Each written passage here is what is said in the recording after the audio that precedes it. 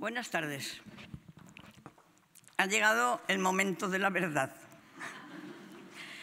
Cuando me llamaron del colegio para hablarme, nada menos que por mi trayectoria, me iban a dar un galardón, yo no me lo creía. Yo decía, pero bueno, si mi trayectoria ha sido tan normalita y tan corriente.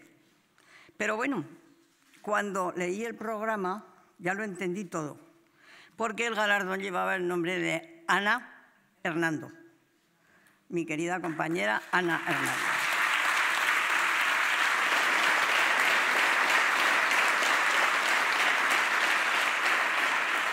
Creo que muchos de los que estáis aquí habéis conocido a Ana Hernando, una mujer enamorada de su profesión, entregada, con ganas siempre de trabajar y de mover a la gente.